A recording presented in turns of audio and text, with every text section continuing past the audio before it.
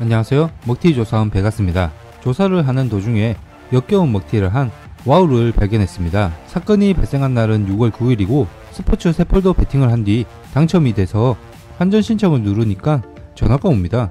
규정 위반을 했다고 원금으로 다시 베팅을 하라고 하길래 싸우기 싫어서 꺼지라고 하고 전화를 끊었어요. 진짜 웃기고 어이없는 게 베팅을 한 뒤에 정상 베팅인지 물어보고 확인까지 받았는데 적중이 되니까 규정 위반 드립을 칩니다.